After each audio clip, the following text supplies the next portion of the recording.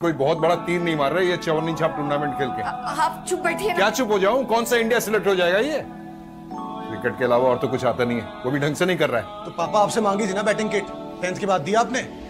200 का बैट लाके दे दिया। वो मिला था फ्री किराने के साथ। तो उसके साथ तो टेनिस बॉल ही खेलूँगा। सीज़न बॉल तो खेल नहीं पाऊँगा।